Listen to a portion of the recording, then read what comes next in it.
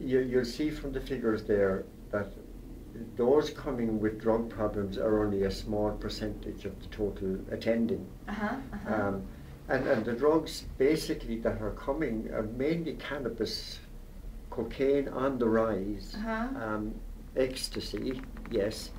Um, we don't get that much heroin. okay. And the heroin we do get here is generally smoked rather than injected. Injected, yeah.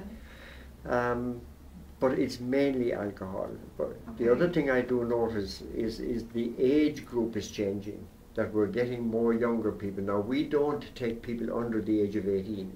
You see. don't? We don't. No. It's contact youth, opportunity youth Okay. handle them. We don't. It's not within our remit.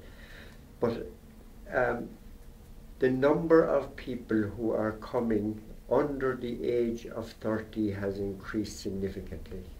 Um, now, when you're dealing with something like alcohol, it takes time for the problem to build Yeah. you see, so that um, somebody doesn't start drinking today and get into trouble tomorrow. Yeah. Well, they might if they drink driving, like, but they don't develop a serious problem.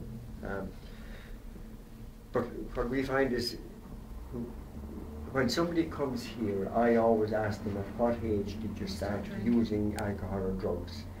Um, it used to be in the mid to late teens, it's now in the 9, 10, 11 age group. That's when they start. Now that starting is really experimentation, you know. Would you say maybe peer pressure or Um, I mean where would the, I mean a Well, ten yeah. and a nine and ten year old yes, really should be at home. they should be at home, but that's they're, they're tippling into the old drinks cabinet at home. At home yes, when their mum and what- dad's- yes, when their mum and dad is out. Um, but then when you go out and you look, say at a weekend at street corners and things, you look at the age groups of the, the, they're gathering in numbers. That's the peer pressure. Yeah. Now, now peer pressure, remember, is the pressure in me to be Mhm. like my peers. It's not the Mhm. pressure they Of put them, on me. It's the pressure in Inside. me myself. Yeah. Um, so we all want to be the same. Nobody wants to be different. Yeah. You know, and and that's where the, it, it really takes off. Um, that's when the heavy drinking takes. You know, but it'll have started tipping around ten or eleven. You know.